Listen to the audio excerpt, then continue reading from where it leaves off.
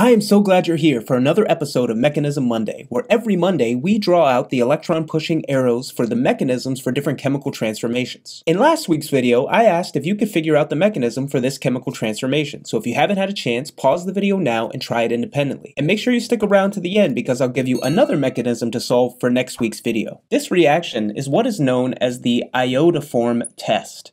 The iodoform test is unique because it's used to determine whether or not compounds contain carbonyl groups. It's a specific type of haloform reaction, and as you'll see here, we'll talk about how this helps you identify whether or not there are carbonyl compounds or carbonyl functional groups present in your molecule. Importantly, the first step in this reaction is actually to generate an enolate species. So the first step is deprotonation of what's known as an alpha carbon hydrogen. You've probably seen this type of reaction in an organic chemistry class, but if you haven't, I have a video here about forming enols and enolates that you can check out. So the first step is going to be deprotonation of one of these acidic alpha carbon hydrogens. The electrons will come down making a new carbon-carbon double bond and kicking up the pi electrons to oxygen. And this is how you form what's known as an enolate species. An enolate contains an alkene and a negatively charged oxygen that is attached to that alkene carbon. From here, remember, we have iodine, which is I2,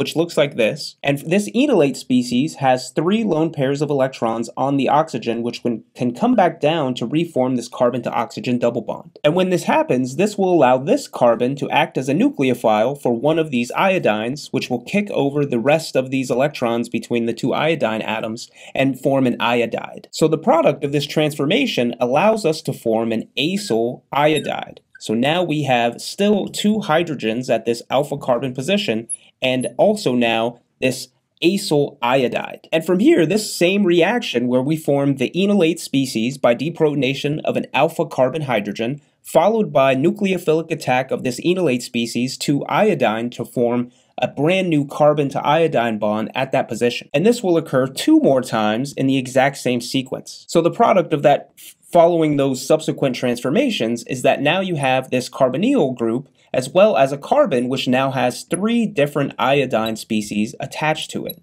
Now importantly, now that we've formed this triiodomethyl group, this is going to be a great leaving group. In fact, remember we still have hydroxide present in our solution, so what can happen is another hydroxide can come in and do nucleophilic acyl substitution here, which we've seen a few times previously in different mechanism Monday reactions. So the electrons will come up from following nucleophilic attack at this carbonyl position, the electrons will come up, kick up the electrons to the oxygen, and then subsequently they will come back down, and that is what will kick off this triiodo methyl group. And the product of this reaction, importantly, we're producing Ci3, which is going to be negatively charged with a lone pair of electrons on carbon. And we're also forming a carboxylic acid. So the carboxylic acid was formed via nucleophilic acyl substitution where we've attacked this carbonyl compound with this hydroxide. Now importantly, keep in mind that now we have this negatively charged species and we have an acidic proton here. And this negatively charged nucleophile will come and deprotonate that species in order to generate what is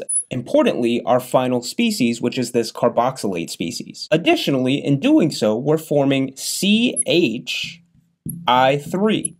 And importantly, this iodoform reaction is an iodoform test because this will allow us to form what is a yellow solid precipitate in this reaction. And this yellow solid precipitate can be easy to visualize and this formation of this compound allows us to discern whether or not some material had a carbonyl group in it initially because this sequence of transformations will form this yellow solid precipitate, giving an experimentalist a clear indication that the only formation of this reaction could be possible through subsequent reactions with different carbonyl groups. If you enjoyed this week's mechanism, give it a thumbs up. For next week's video, I'd love to see if you could figure out the mechanism for this chemical transformation. If you have any ideas, drop it as a comment down below. And make sure you're subscribed to the channel so that you never miss another Mechanism Monday. I'll see you next week.